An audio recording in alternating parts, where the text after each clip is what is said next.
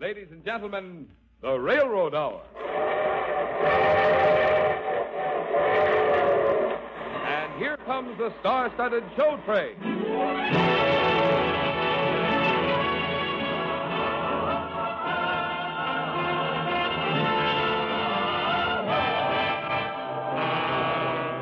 Tonight, the Association of American Railroads presents the famous Victor Herbert operetta, Mademoiselle Modiste, starring Gordon MacRae and his lovely guest, Jane Powell. Our choir is under the direction of Norman Luboff, and our music is arranged and conducted by Carmen Dragon. Yes, tonight another great musical success is brought to you by the American Railroads. The same railroads that bring you most of the food you eat, the clothes you wear, the fuel you burn, and all the other things you use in your daily life. Now here is our star, Gordon MacRae.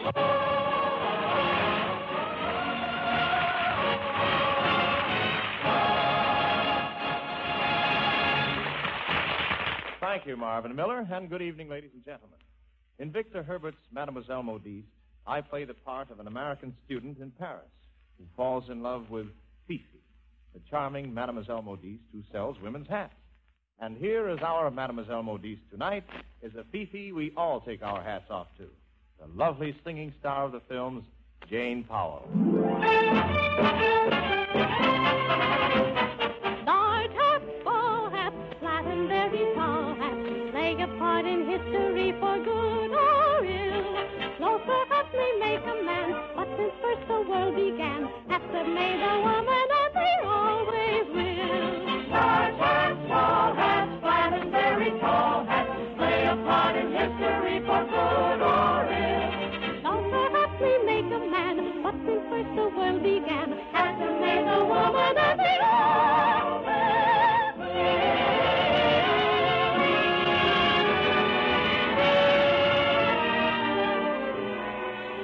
lovely, my little Mademoiselle Modiste. She worked in one of the most fashionable hat shops in Paris. And whenever I was able to take time for my studies, I used to hurry to the shop to try and get a glimpse of her. This had to be done in the greatest secrecy, because a great uncle of mine had promised my mother to keep an eye on me while I was studying in Paris. And his idea of keeping an eye on me was to keep me away from every pretty mademoiselle in the city. The hat shop was owned by a Madame Cecile. And one day, when I dropped by the shop with some flowers for Fifi, Madame Cecile said to me, Oh, Robert, you're a nice boy, but you must not permit yourself to get too attached to Fifi. After all, she is a businesswoman, and nothing will ever matter to Fifi as much as her career. Are you sure, Madame Cecile? After all, I wouldn't think a girl would want to spend all of her life in a hat shop. I have spent all of my life in a hat shop. Someday Fifi will be just like me. Oh. What do you mean? Oh. Well, Madame, I see Fifi in a small house, cooking and sewing and, and singing to little girls who look just like her. Here. You are too young to be thinking of things like that. You should be free to do as you like. Well, that's always been my philosophy.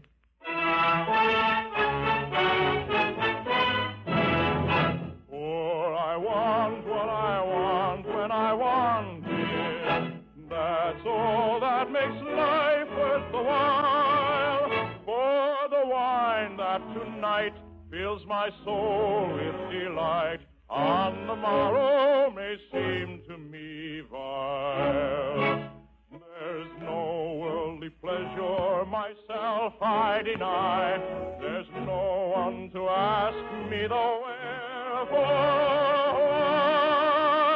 I eat when I'm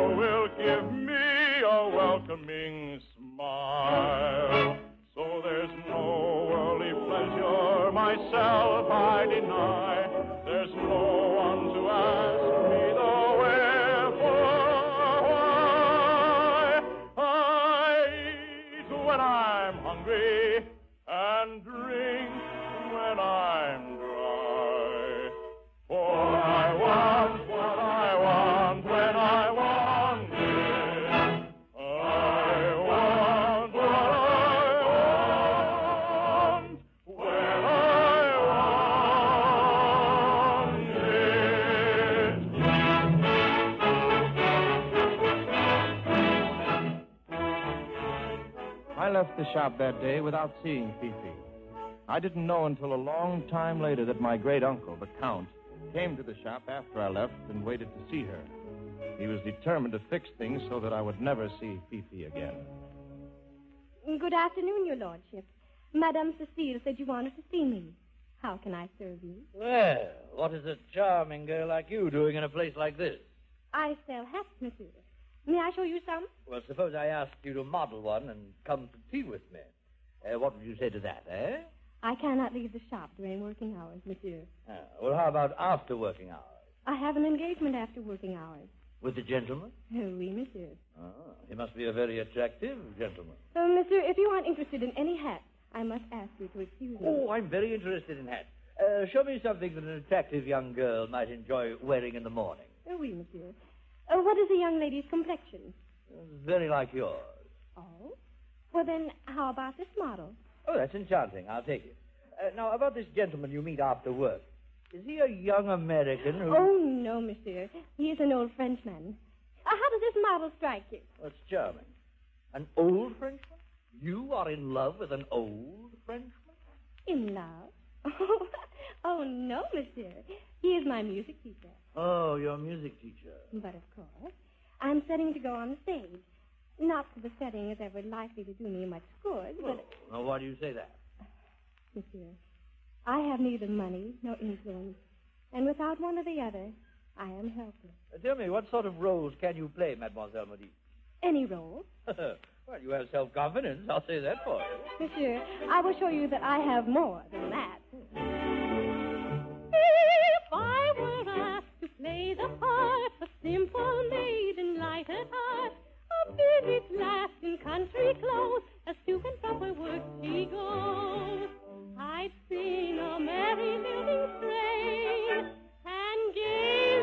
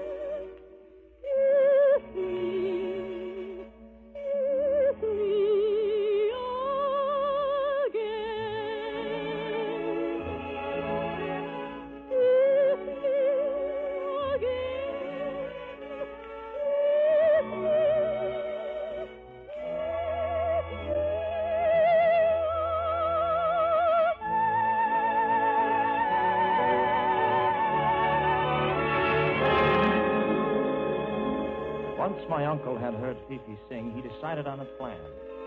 He bought three more hats, and while Fifi was having them wrapped, he slipped $5,000 into an envelope and addressed the envelope to her. When she returned, he said to her, The name of the lady who is to receive the hats is on this envelope. I want you to deliver them to her. Uh, oui, monsieur. Fifi, you're back. I was hoping you'd be. Uncle, what are you doing here? Uncle, oh, Robert, is Good afternoon, Robert. I must say I am surprised and shocked after I expressly forbade you to come here again. I'm not a child, Uncle, and you're not going to tell me where I'm to go and who I'm to see. What is going on out here? What is all the commotion? Madam Cecile, I love Fifi, and I want to marry her and take her away from here. You want to take her away? Robert, you will cease your attentions to this young woman at once, or I will stop your allowance and cut you out of my will forever. Mademoiselle Maurice, you will have nothing to gain by trapping my nephew into this disgraceful alliance. He is not going to trap your nephew into anything.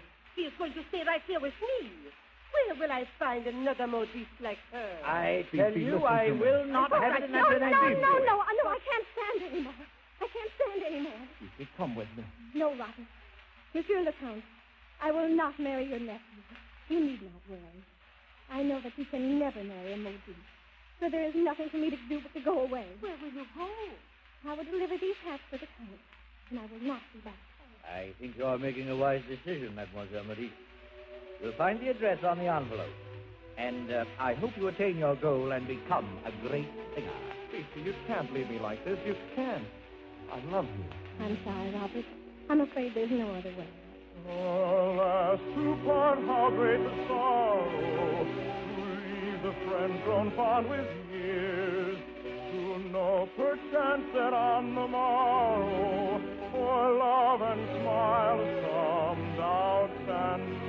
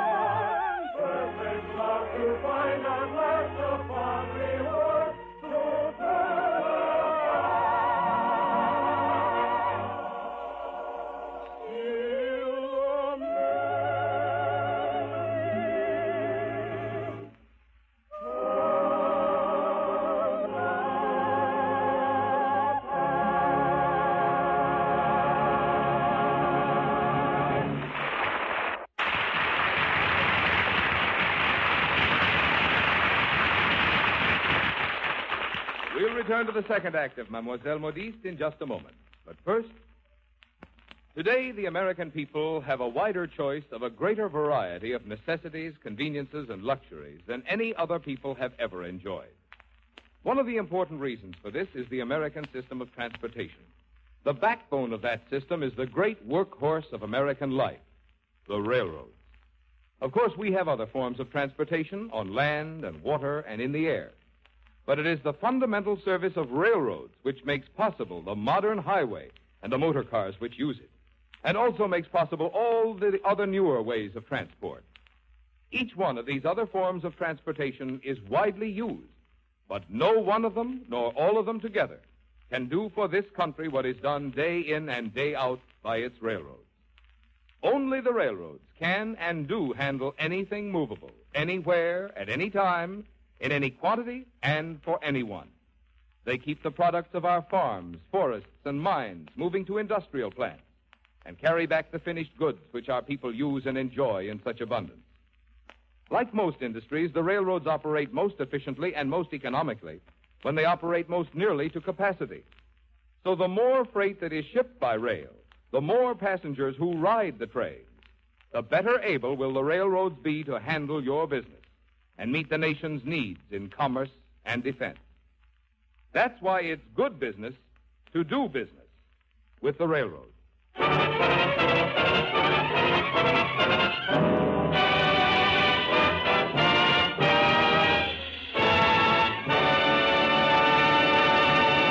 And now, here is the second act of Mademoiselle Modiste, starring Gordon MacRae and his lovely guest, Jane Powell.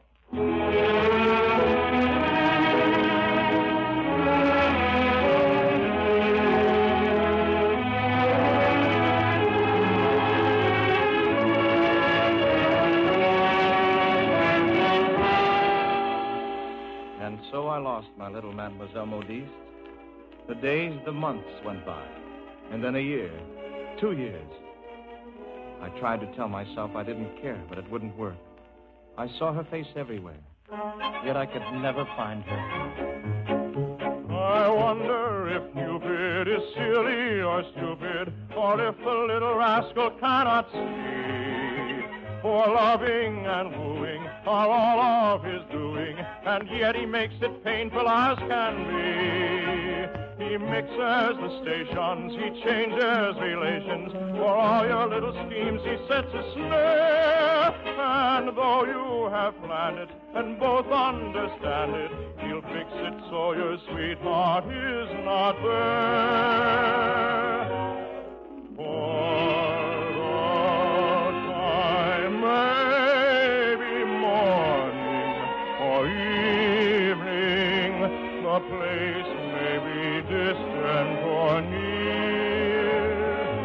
and the maiden demure may have made you feel sure that she'll be there without any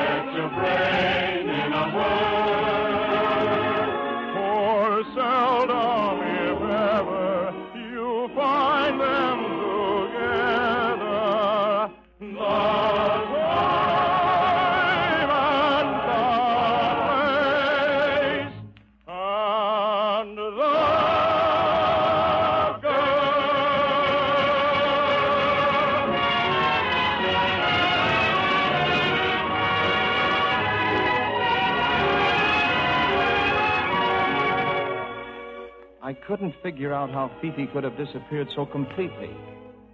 I didn't know she had become a famous singer under the name of Madame Bellini, and that she had come to see my uncle. I have come to repay a debt, monsieur. In this envelope, with your name on the outside, you will find the money that you so generously loaned me. Oh. And did you go on the stage? Oh, but yes. Didn't you know?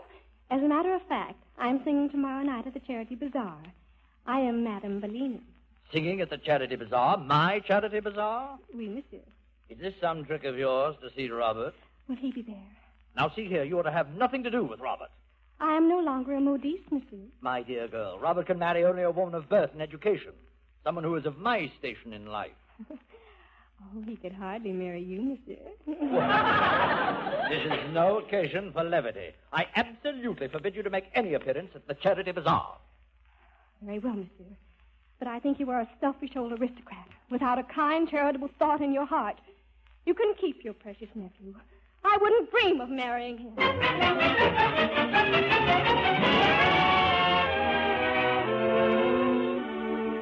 But Fifi did come to the charity bazaar. She came dressed as a fortune teller, and I went to her to have my fortune told. She wore a mask, and of course I had no idea who she was. What kind of fortune would you like, monsieur? Well, what kind have you? Let me see your palm, and I'll tell you. Oh, monsieur, I see blonde, brunette, and pretty. Oh, no, not in my palm, mademoiselle. I have only loved one woman, and she. Yes, she's forgotten me. monsieur. I see a great surprise in store for you. You're going to meet someone that you haven't seen for two whole years. Really? Someone who loves you devotedly. A singer. Oh, dear. There's someone who hates her. Oh, my uncle. He's trying to keep you apart.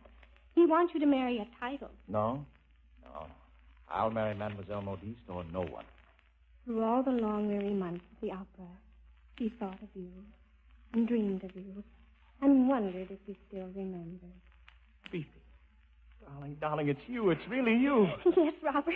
Oh, Fifi. Oh, oh, oh, there are the soldiers. They've made me their mascot, and I promised to sing for them. Oh, I'm coming with you. I'm never going to let you out of my sight again. Oh, I hope you never do. Soldiers of France! Soldiers, I am honored to be your mascot.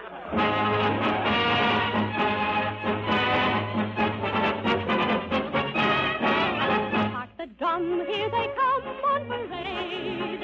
At the side hides the tie trusty blade.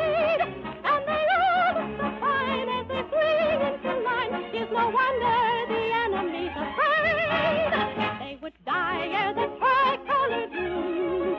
Never one to dishonor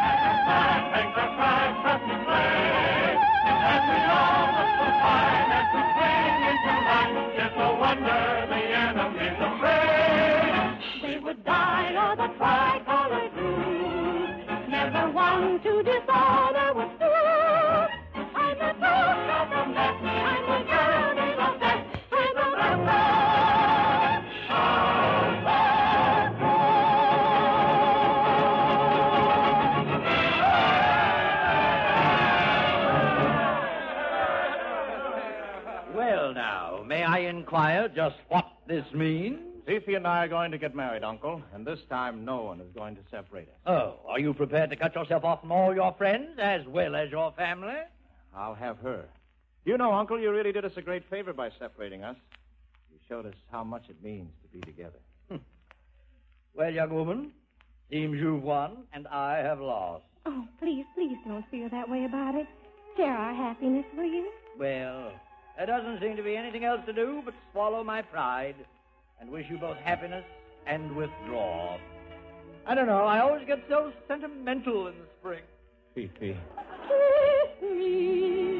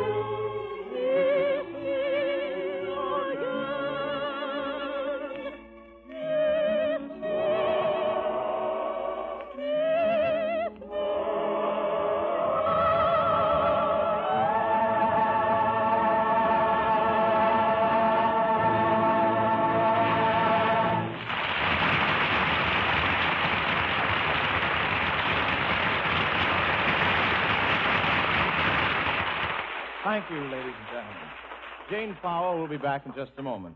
Meanwhile, this is Gordon MacRae giving a big vote of thanks to Verna Felton and Joseph Kearns for their fine performances tonight. Mademoiselle Modiste, with book and lyrics by Henry Blossom and music by Victor Herbert, was adapted for radio by Jean Holloway. The Railroad Hour is brought to you each week at this time by the American Railroads. These railroads have many meanings for America, deep and vital meanings. They mean essential, efficient, and economical transportation. They mean jobs, good jobs, not only for railroad men and women, but also for hundreds of thousands of others who make the materials, supplies, and equipment the railroads buy. And railroads mean taxes. Taxes which help pay for the education of your children and for the general public welfare. Yes, day in and day out, railroads play an important part in the growth and progress of your community. And that's why it's good business to do business with the railroads. And now, here again is lovely Jane Powell.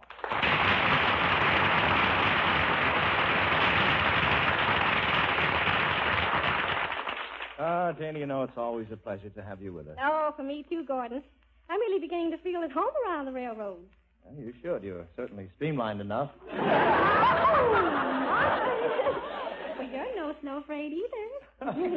well, we'll be expecting you back week after next again, Janie, for our St. Patrick's Day program. George M. Cohan's Irish musical Little Nellie Kelly. Oh, I'll be here.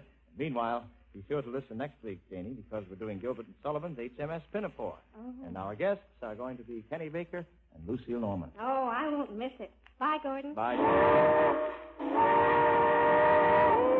All aboard. Well, it looks as though we're ready to pull out. And so until next week, goodbye.